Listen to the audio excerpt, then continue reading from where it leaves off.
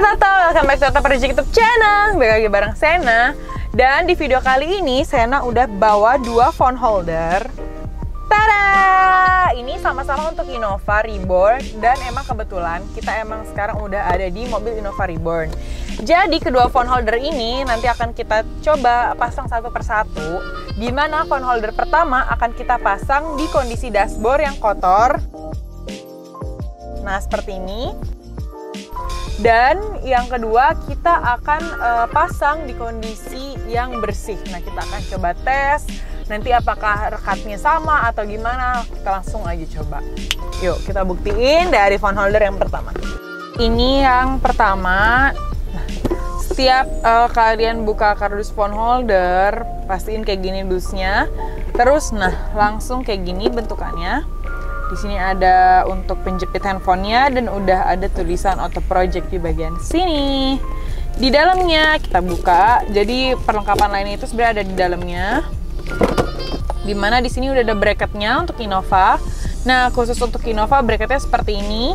Jadi nanti dipasangnya kalau Innova itu di sini. Nah jadi pas banget di sininya. Tuh bener-bener udah sesuai jangan lupa nanti emang di, lebih disesuaikan lagi dulu kalau mau pasang terus di sini juga udah ada steering ballnya dan udah dapet primer untuk membersihkannya Nah, tapi karena kita mau coba nih uh, dalam kondisi kotor dan bersih, kita coba dulu yang pertama tidak pakai primer alias kita nggak bersihin. Nanti akankah si bracketnya ini tetap nempel atau enggak di dashboardnya kita coba. Oke, kita langsung buka dulu 3M-nya karena di sini udah include uh, eh, 3M-nya. Jadi kan di sini emang udah include 3M di bracketnya. Padahal udah ada si kaki-kakinya juga kan di sini. Nah, kita tempel. Jadi walaupun kaki-kaki ini udah kuat, tetap ada uh, si 3M-nya yang akan ngedukung supaya lebih rekat lagi. Tapi karena ini posisinya dashboard kotor, maka kita coba akan seperti apa. Kita sesuaiin dulu ya. Sebenarnya tadi harusnya disesuaikan dulu. Kira-kira kalau udah sesuai nah di sini udah pas kita baru rekatin. Nah nah. Nah sekarang kita coba lepas lagi bisa apa enggak dia kita lepas. Padahal tadi 3M nya udah sebanyak itu dan serekat itu kan si 3M nya tapi dalam kondisi dashboard yang kotornya kita tekan dulu deh malahan nih sebelum kita lepasin lagi ya. Tapi ternyata kita coba. Nah semudah itu ngelepasnya karena ternyata debu yang ada di dashboard itu nempel semua ke sini tuh. Kalian bisa lihat ya ini kecil-kecil banget sih nggak tahu bisa ketangkep apa enggak. Cuman ini tuh benar-benar debunya nempel semua ke 3M. Nah jadi buat kalian yang punya dashboardnya kotor. Jadi buat kalian yang ngerasa jarang banget banget banget bersihin dashboard kalian, apalagi dalam keadaan yang kotor, terus kalian main tempel aja, itu nggak akan rekat. Kenapa? Karena prinsipnya si 3M ini nanti yang ngerekat adalah debu yang ada di dashboard itu bukan malah ke dashboardnya rekatnya kayak gini contohnya tadi udah kita coba kita buka kita dorong tekan-tekan sekuat tenaga nempel nempel cuman habis itu apa Habis itu ketika kita tarik lagi, dia bisa lepas. Nah, bayangannya pun kalau misalnya kita nggak tarik lagi, mungkin dia akan nempel. Tapi kita nggak tahu uh, daya tahannya hanya beberapa lama. Karena tadi aja kita coba sangat gampang karena semuanya nempelnya ke 3M ini debunya. Sekarang kita coba bersihin yang benar-benar bersih banget dashboardnya. Akankah mudah lagi dicabut atau enggak kita coba? Oke, jadi sekarang kita akan buka box yang kedua. Yang tadi pertama kita udah coba dalam kondisi kotor. Sekarang box yang kedua kita akan unboxing. Kita pastiin juga isinya sama kayak box yang pertama. Ini juga packagingnya masih sama. Terus, nah ini dia, baik lagi buka. Nah, oke, di sini udah ada bracketnya, udah ada primer sama ininya, steering ballnya. Tapi sebelum Sena tempel si bracket ini, kita akan uh, bersihin dulu si dashboard yang kotor. Dan bersihinnya pun kalau bisa nggak cuma sekali dari primer yang udah ada, pakai tisu basah dulu, terus dikeringin. Pokoknya jangan sampai ada debu, kotoran, uh, air, basah-basah gitu, uh, apalagi minyak yang ada di dashboard kalian sampai dashboard kalian kotor, terus kayak timbul warna-warna lain sampai kayak berdaki-daki gitu, kalian bener-bener harus bersihin secara maksimal terlebih dahulu baru tempel phone holder dari kita karena supaya nempelnya bener-bener rekat. Karena kalau nggak sayang banget pasti akan jatuh karena sistemnya si 3M akan ngerekatinya nanti malah ke debu-debunya yang udah ada kayak tadi gitu. Nah sekarang langsung aja nih ya. Nanti kan ditempelnya di sini oke jadi ditempel di sini. Ini udah ada kotor-kotornya. Sena bener-bener bersihin dulu. Nih ini step pertama. Step pertama kita pakai tisu basah dulu tuh. Lihat Nah, kotorannya kurang lebih kayak gini. Kalian juga harus bersihin. Ini masih ngasal, tadi bersihinnya. Ini saya akan bersihin lagi. Ini bener-bener, dan ini pun udah bener-bener bersih. Ini tetap Sena jadi ini step pertama yang di mana berarti nanti akan ada step selanjutnya, walaupun ini udah dibersihin. Nah, ini udah tahap pertama tuh ya tuh ini udah pasang tuh sampai ini pakai tisu basah dulu nah ini kotorannya tadi udah sana lipat Step yang kedua, uh, kalian lap lagi. Nah kali ini pakai kanebo, bener-bener uh, sana bersihin yang super bersih. Bahkan kalau misalkan kalian ngerasa dashboard kalian lebih kotor dari ini, balik lagi kayak yang tadi sana bilang, tolong pembersihannya lebih ekstra lagi ya, sahabat Oto supaya daya rekatnya benar-benar rekat banget dah nah ini jangan sampai ada daki-daki atau debu-debu minyak-minyak yang menempel nah ini tadi pakai udah dibasahin ya kanebonya ya pakai air bersih supaya lebih nempel lagi nah ini udah oke okay. jangan lupa kalau misalnya kita tempel pas keadaannya basah pun itu nggak akan nempel nantinya karena nggak hanya debu kotoran cairan cairan-cairan kayak air atau minyak itu juga bikin nggak nempel. Jadi setelah dibersihin pakai kanebo ini dari tadi masih ngegosok sebenarnya. Jadi kalau misalnya habis dibersihin pakai kanebo kalian siapin tisu kering lagi untuk dikeringkan. Nah jadi ini beneran ya sahabat Oto, jangan sampai ada kasus tidak menempel phone holdernya di mobil kalian karena belum dibersihkan dengan benar dan baik. Baik dan benar seperti itu. Oke, udah dikeringkan pakai tisu. Nah, udah melalui tiga tahapan tadi pun ini adalah tahap terakhir alias keempat yaitu pakai primer lagi dari si Auto Project yang udah disiapin. Nah ini kita bersihin lagi supaya bener-bener rekat. Harus sampai sebegitunya memang. Kenapa?